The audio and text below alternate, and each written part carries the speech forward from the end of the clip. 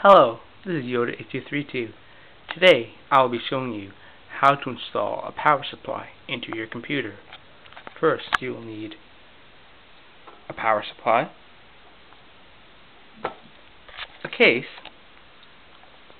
four mounting screws, and a Phillips screwdriver. Take your power supply and slide it into the clips where your power supply will go. It's in now.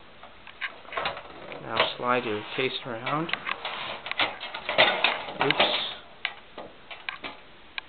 This is the hard part. The film and to screw in. First, I'll get one. First, I'm going to put one screw in, and then I'm going to show you how I put the other screws in. So right now, I'm just screwing in one screw with my hand to hold it. Alright, so just put in that screw. So it's in now, kinda. So I'm just gonna tighten it.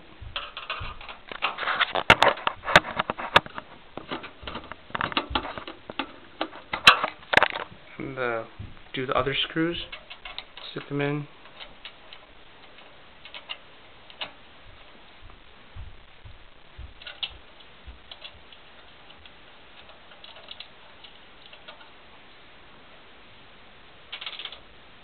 And that is all.